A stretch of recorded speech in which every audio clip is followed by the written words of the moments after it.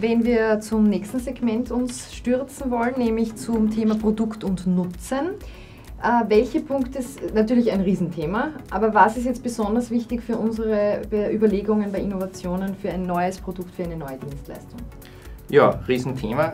Wie gesagt, äh, beim Produkt sollte man sich wirklich darauf fokussieren, äh, was der Kunde wirklich dann auch braucht. Ja, also man hat natürlich jetzt eine neue Idee, man ist äh, begeistert davon und versucht natürlich das Produkt jetzt so gut wie möglich zu entwickeln.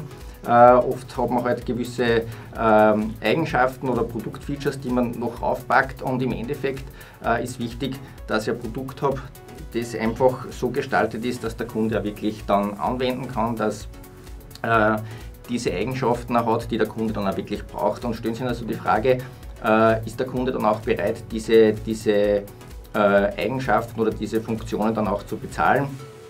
Und stellen Sie sich umgekehrt die Frage, kann ich nicht irgendwelche Funktionen weglassen, die einfach in der, in der Entwicklung viel Geld kosten äh, und schlussendlich ja dann im Kunden nichts nützen. Und da sind wir schon bei dem Thema Nutzen.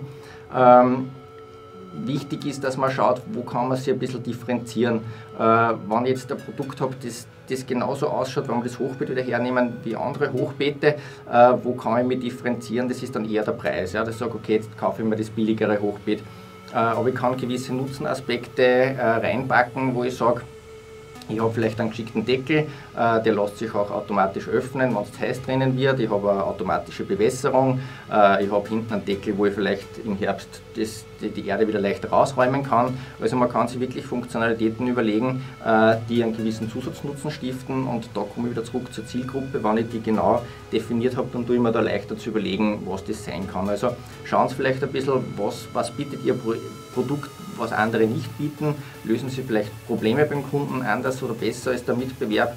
Und vielleicht so die Frage, warum sollte der Kunde genau bei Ihnen dieses Produkt kaufen? Und auch ein Thema ist, äh, versteht der Kunde auch diesen Nutzen, den Sie da, da vorschlagen?